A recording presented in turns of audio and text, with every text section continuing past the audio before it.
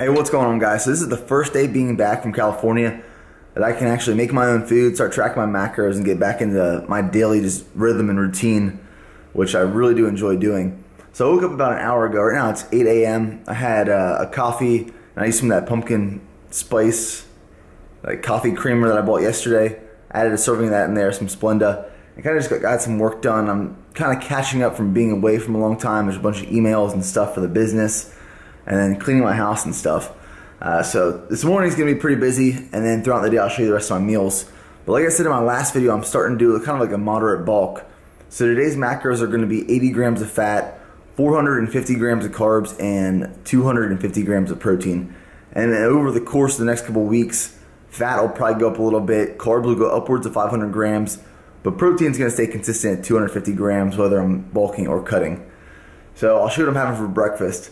Uh, even though I've been out of the field for about a week now, the Army's been serving us, you know, Army food. And if you guys are in the military, or maybe you know, Army food may or may not be real food. Like some of the food options you get, not the highest quality. Portions are definitely really small, but Army eggs are one thing I will not eat. Army eggs look like minced garlic. So one of the things I had to make for breakfast was eggs this morning. So right here, uh, you guys know one of my go-to protein sources is eggs. So this is two whole eggs, one cup of egg whites with a little bit of sugar-free or reduced sugar ketchup on there. And then this is two servings of Frosted Flake clusters. So it just has like some crunchy medley in there I picked up last night. Half a cup of almond milk and then 126 grams of banana. So this is a little over 100 grams of carbs pre-workout. I got legs today. Uh, it's typically what I like to keep it in. This digests very fast. I can go to the gym in about an hour and feel fine. All right, guys. So while I was gone, I posted this picture of some training we were doing when we were out in California, and someone asked the question of why did I not choose a normal job like after college?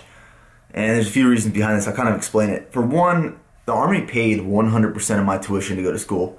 Uh, and the deal was they pay for your school, you get four years back to the Army. Pretty good deal. Uh, so I'm debt free from school right now. That was kind of like the initial reason. And then, you know, I saw so many benefits, the leadership abilities and positions you get to be in, um, the sense of serving your country.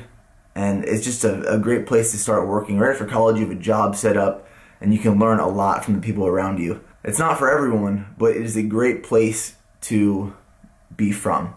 Meaning, you know, you might say, hey, you're an infantry officer. How can you apply that to the civilian sector? kind of just to put it in perspective for you. So I'm also the unit movement officer for my company. So every company has one officer in charge of moving all the stuff. So we went to California this past month. I was responsible for moving 100 people, over $100 million worth of equipment, 3,000 miles, and I did that without losing anything or breaking anything. So that's a pretty good resume bullet.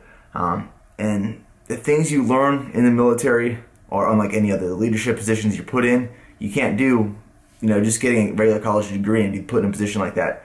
The military is something different, somewhere where you can really start building a resume and uh, some really good qualities to, to use later on in life. I've literally never seen him this tired. Ever since I picked him up yesterday around 4 p.m., he's been sleeping the entire time. hey. Yeah, he's beat. All right, so NTC absolutely crushed my mobility. Uh, coming back into yesterday's workout for deadlifts, I could feel my hips were really tight, and getting seated properly down in the deadlift just wasn't comfortable for me, and I felt myself falling forward. So this is something I picked up from Bryce Lewis when I did a uh, Skype interview with him a couple months back, and I incorporated it into pre-workout squats and deadlifts, and it really did make a difference, and something I'm going to start doing consciously again just to get warmed up and ready because I have not been putting as much emphasis on pre workout mobility and saving it and reserving it primarily for post workout or off days. Something I'm now transitioning back into is a low bar squat after going back to high bar squat for the past couple months. Primary reason is it's more comfortable for me for one. I can maneuver more weight. So, you know, my end state or my goal is to maneuver as much weight as possible, as many times as possible and the way my body is built and constructed, my skeletal composition, uh, the center of balance just works a lot better for me for low bar squats. So it's something you're going to see more often in videos, and hopefully I can start moving more weight under the squat. So I did a 5x5, working up to 335 on squats. Now, endurance is coming back. This is my third leg workout after getting back from the field.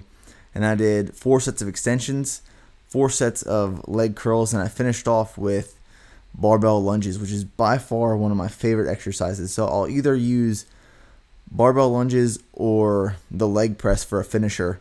Uh, and I'm going to start doing a lot more volume. My legs is something I really want to bring up, especially during this bulk and getting a lot of volume hypertrophy, but still incorporating some strength training because I'm going to also use this bulk to get stronger as well. So, I mean, it seems implied, but I want to get a lot stronger than I was.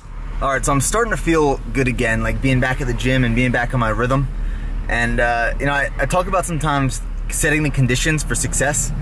And you'll hear some people say, like, if you're a true athlete, you know, you can go into the gym and you can hit your PR anytime. You can go in and hit a workout no matter what condition you're in or how you're feeling.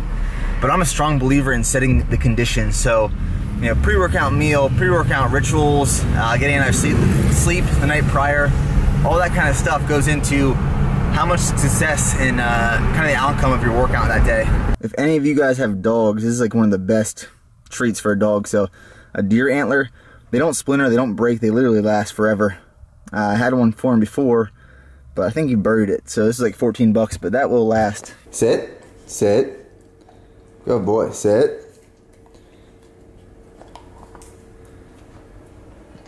All right, so for lunch, I'm gonna make some cornflake breaded chicken. So this is just 10 ounces of raw chicken. Um, I typically add about two ounces if I'm gonna make it raw, because most of the time I weigh my meats after they're cooked.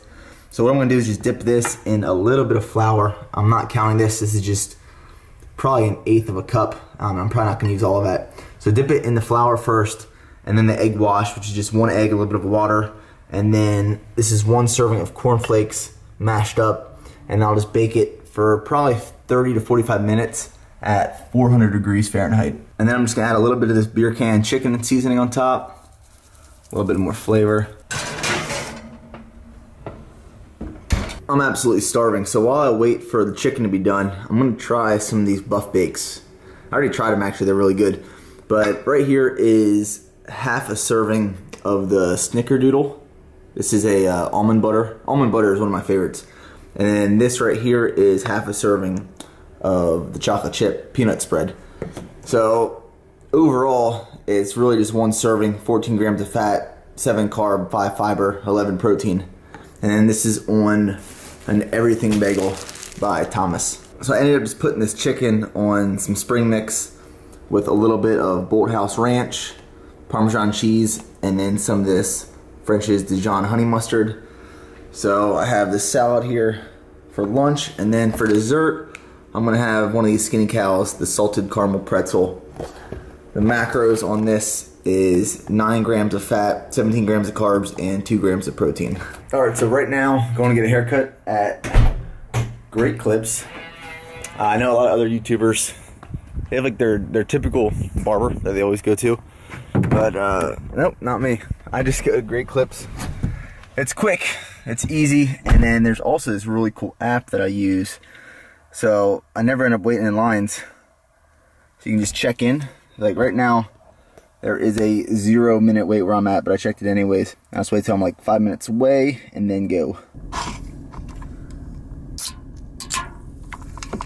Alright guys, so right now it is 320 I'm gonna fill in some carbs with one of these Lenny and Larry oatmeal raisin cookies because tonight I'm making spaghetti squash for dinner, so carbs will be a little lower, and this will help hit 60 more grams of carbs, 6 grams of fiber, 8 grams of fat, and 16 grams of protein. Also wanted to point out that I really appreciate the support you guys are showing now that I'm back and putting videos up, and even when I was gone, the support you guys were showing, absolutely crazy. Uh, now that I hit 20,000 subscribers last night, I've been getting messages all day. So I really appreciate you guys and, you know, all the support and encouragement you guys show me. So I'm gonna eat this and then here in a little bit start making dinner. All right, so for dinner I am trying something new and experimenting with spaghetti squash. So let me show you what I got going on right here. So in the oven, I've been baking the squash for about 30 minutes now at 400 degrees Fahrenheit. Uh, what I had to do is cut it in half, and cutting it in half is a lot harder than I thought it would be. It took like four attempts and slamming it down on the cutting board. And then I scraped on the inside, like the seeds and the gunk, and then I put it face down in a pan with uh, about a quarter cup of water, help it steam a little bit. So 30 minutes at 400 degrees, it should be done here soon. And then on the side here cooking, I have 99% lean ground turkey uh, with an onion here that I browned first. So that's gonna go along with the spaghetti squash. And then I'm gonna mix in about a serving and a half of marinara sauce and then two servings of fat-free ricotta cheese. All right, so here is the final product. It's it's decent. Uh, spaghetti squash is like my first time ever having it. It's kind of like bland, but when you add in the ricotta cheese, I threw in some Parmesan cheese as well. A uh, total of six ounces of the turkey breast with the onion, and then the marinara sauce. It it has some flavor, but uh, it's not exactly like pasta. But if you're like dieting or low carb, I just wanted to try it out. I would recommend it. It's definitely pretty filling. Uh, so this plate, I'll have the macros on the screen a lot lighter than if I was using, you know, regular pasta. So I'm gonna eat this right now. It is 5 p.m. and I have one more meal. All right, guys, to finish off tonight's macros, I had a little bit of a sweet tooth. So this is three of these Chobani pumpkin spice Greek yogurts.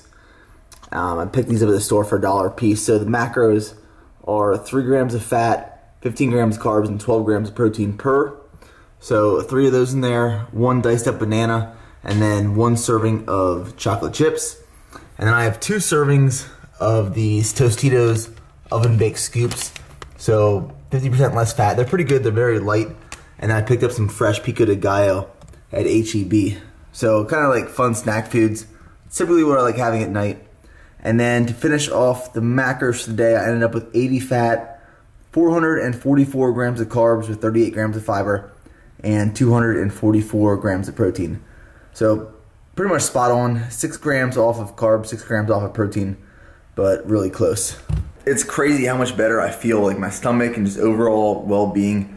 Eating the foods I want, healthier food options, fresher food options now as opposed to last week when I was eating all army food and stuff that's just very preserved and processed. Like I just feel a million times better. So that wraps up this video, guys. Hope you enjoyed this one, and I will see you guys in that next video.